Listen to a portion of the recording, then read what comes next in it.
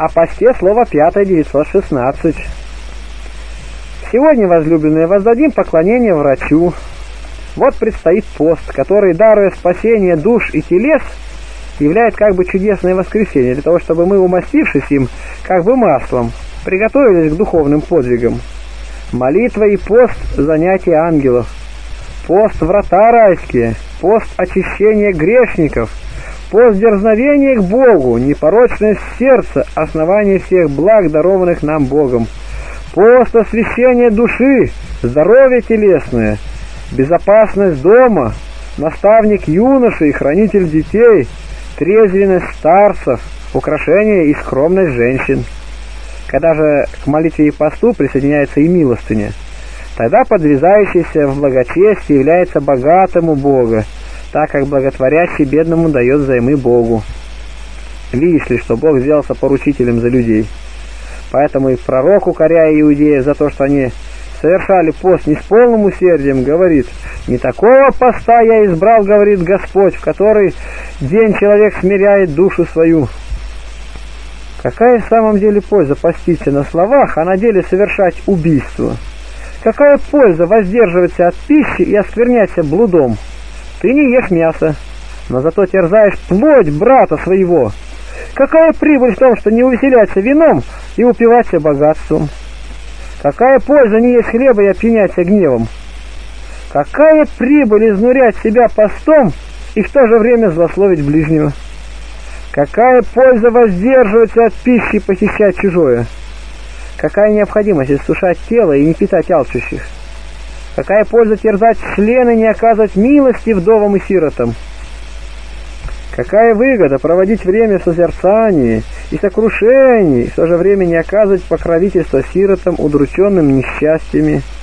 Нет никакой пользы для людей в том, что они носят одно только название христиан, а не имея за собой добрых дел – так как перед Богом не имеет значения внешнее достоинство, но требуются дела.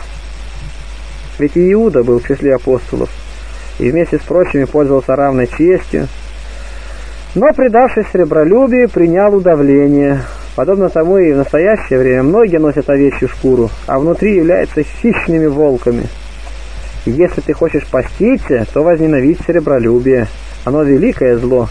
Ты постишься, в таком случае избегай прелюбодеяния, избегай блуда, избегай клеветы, избегай лжи, злословия, вражды, богохульства и всякой суеты. Ты постишься, и избегай тогда любостяжания, хищения, раздора и губящей душу зависти. Ты постишься, избегай гнева, блуда, ревности, клятва преступлений, всякой несправедливости.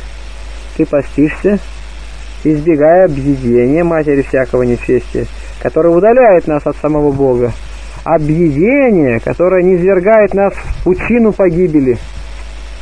Если ты постишься ради Бога, то избегай всякого дела, которое ненавидит Бог, и Он примет твое покаяние с благосклонностью. настоящее время – время покаяния, а не покоя.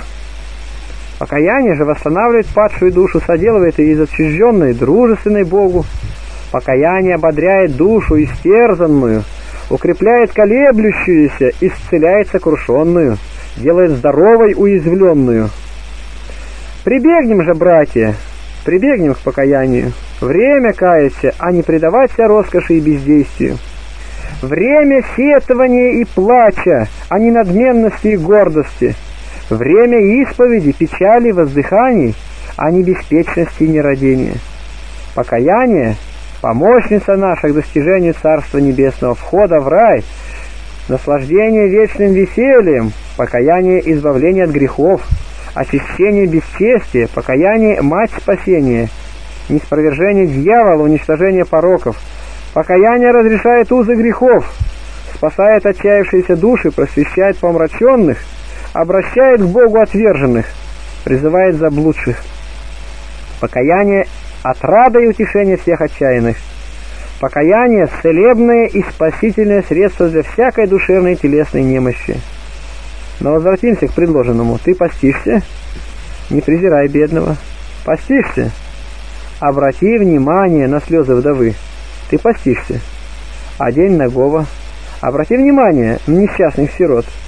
Если имеешь возможность, то подавай милостыню, если же нет, то по крайней мере не похищай чужого. Ты постишься, удержи язык свой от зла и уста твои от лукавых речей. И этого достаточно тебе для спасения. Ты постишься, не принимай на себя мрачного лица, подобно лицемерам, не кажись унылым, но помажь голову твою, умой лицо твое, чтобы явиться постящимся не перед людьми, но перед тем, кто испытует сердца и утробы. Если будешь поститься, то постись так, как повелел Христос, чтобы тебе не понести напрасных трудов и не погубить награды твои. Если ты станешь поститься, то смотри, не давай денег своих в рост. Ты постишься, разорви рукописание насильственных договоров. Прости, чтобы и тебе получить прощение. Отпусти брату твоему оскорбление, нанесенное тебе, чтобы и тебе получить отпущение. Будь милостив, чтобы и самому заслужить помилование. Отпусти вину ближнему. Ты постишься? Умилостив того, кого ты обидел. Не завидуй никогда брату, не питай ни к кому ненависти. Ты постишься? Не предавайся тщеславию. Ты постишься? избегай блуда, оскверняющего нашу душу и тело, блуда, удаляющего нас от Бога и от святых, блуда, который уготовляет для нас вечный и неугасимый огонь. Ты постишься? Не клевещи на бедного, чтобы не прогневать сотворившего его. Ты постишься? Питай алчущих, напой жаждущих, одень ногих, доставь покой странникам, посети больных, не оставь без внимания находящихся в темнице, будь милосерд к изнуренным, заботься о страждущих и скорбящих.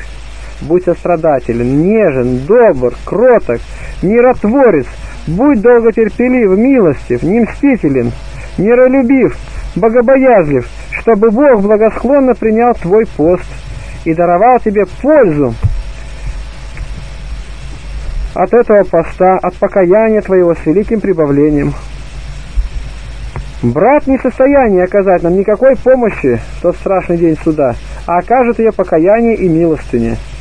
Их-то умоляю вас, братья, и будем соблюдать со всевозможным тщанием, чтобы нам получить награду от Бога и услышать эти вожделенные слова «Придите, благословенные Отца моего, наследуйте уготованное вам царство от создания мира, ибо алкал я и дали мне есть, жаждал и напоили меня» ранен был, болен и нагий в темнице, и послужили мне.